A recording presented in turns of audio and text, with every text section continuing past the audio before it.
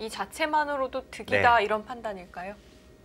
그렇죠. 이쪽을 일단 흙에 두게 되면은 네. 네 워낙 이 모양이 단단하니까 나가 놓아야지만 싸움이 된다고 보는 것 같은데요. 근데 이 형태도 글쎄요. 뭐, 뭐 흙이 나쁠 것 같지는 않습니다.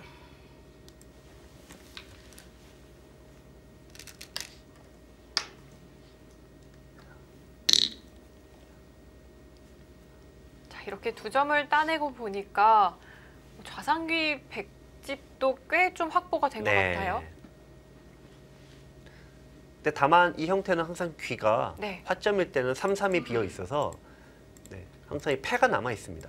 어, 지금은 네. 패가 나는 형태군요. 네. 이 많은 분들이 제가 제일 많이 듣는 질문 두 가지가 하나 있는데 이 3, 3에 들어온 돌을 도대체 어떻게 잡느냐 이 질문을 많이 받고 네. 또 3, 3에 들어온 돌이 또 어떻게 사느냐 이 질문도 제일 많이 받아요. 그러니까 사는 것도 어렵고 네. 잡는 것도 어렵다는 얘기죠. 이해가 갑니다. 제가 사는 입장일 네. 때는 그렇게 네. 사는 수가 안 보이거든요. 네. 그런데 또 잡으러 갈 때는 잡는 수가 안 보여요. 네. 그래서 공평하게 패가 답입니다. 네.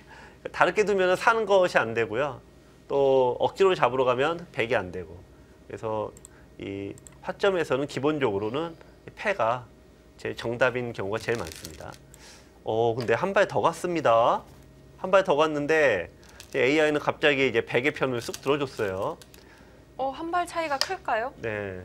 끊어진다 이거죠. 어. 지금 AI는 지금까지 저희가 보면은 이 돌이 끊어지거나 약점이 남았을 때 점수가 팍 깎입니다. 근데 이 사람의 마음은 좀 약점이 있더라도 내가 좀 이득을 보기 위해서 좀 강하게 두는 경우들이 많죠. 이거와 이 인공지능의 가장 큰 차이점이 약점을 남기느냐 남기지 않느냐인데 네. 일단 AI는 여지없이 일단 점수를 팍 깎아버렸습니다.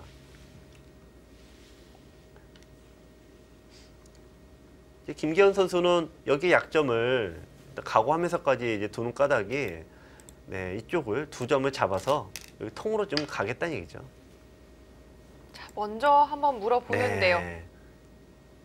자 여기서 그 중요한 수가 하나 있습니다. 여기서 지금 보시면은 이 나와 끊는 수가 네, 나와 끊는 수가 있어서 여기를 두고 이쪽 두면 잡게 되죠.